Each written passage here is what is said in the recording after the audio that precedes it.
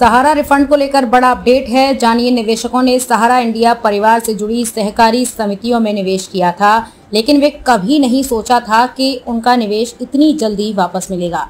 प्राप्त जानकारी के अनुसार सहारा रिफंड पोर्टल, जो सहकारिता मंत्रालय और माननीय सहकारिता मंत्री अमित शाह के नेतृत्व में शुरू हुआ है अब सहारा के सभी सम्मानित निवेशकों को उनके पैसे वापस करने का काम करेगा। हालाँकि सहकारिता मंत्रालय ने स्पष्ट कर दिया कि धन लोगों को ब्याज के साथ मिलेगा, जिसका उद्घाटन भी हुआ है। आपको बता दें कि अभी तक केवल 122 जमाकर्ताओं को उनके पैसे वापस मिले हैं। हालाँकि एक महत्वपूर्ण खबर News India Media Private Limited के सूत्रों से मिली है। मौजूदा तथ्यों से पता चलता है कि सहारा इंडिया परिवार की सहकारी समितियों में निवेश किया गया।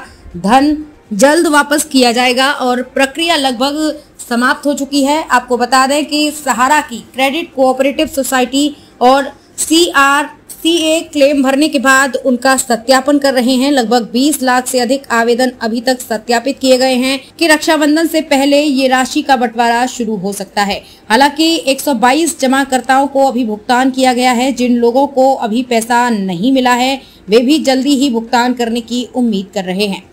क्या केवल दस हज़ार रुपये मिलेंगे? बाकी का करना होगा इंतज़ार।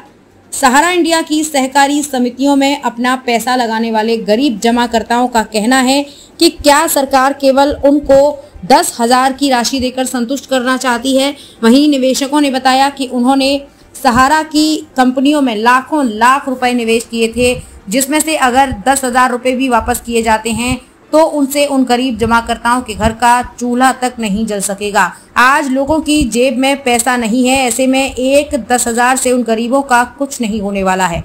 सहारा इंडिया रिफंड, वहीं अगर सहकारिता मंत्रालय की बात करें, वहीं अगली किस्त के माध्यम से करीब बीस हज़ार और सहकारिता मंत्रालय जारी कर सकता है, परंतु इसका अभी तक कोई ऑफिशियल अपडेट सामने निकलकर नहीं आई है। पोर्टल को लेकर अभी भी समस्या में है निवेशक।